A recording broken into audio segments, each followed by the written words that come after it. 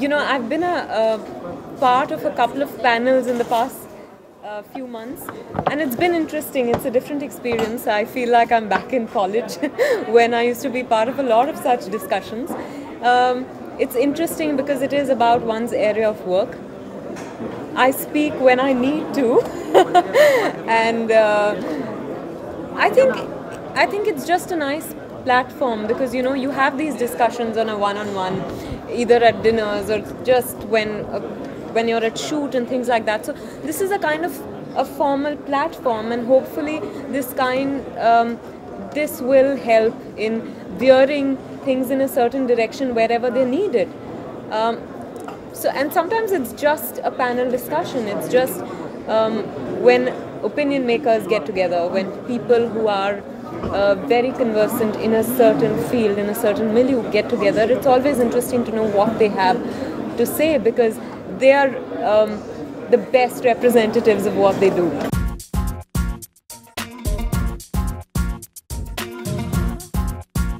Very honestly, my supplements नहीं पढ़ती। Because I, I like to know what's happening all over the country so main paper पढ़ती हूँ uh, ज़्यादातर और कभी कभार supplements भी देख लेती हूँ।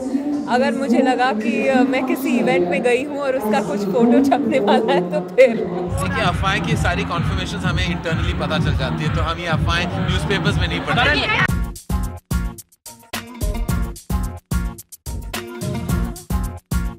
कि जब मुझे न्यूज़पेपर मिलती है तो मैं I read the main newspaper because मुझे पता होना बहुत ज़रूरी होता है that what you know what is happening all of the country in the world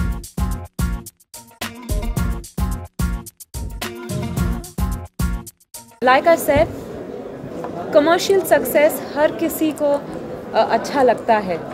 And I think I been fortunate I been lucky कि मेरे फ़िल्मों को critical acclaim and commercial success मिली है तो I am very happy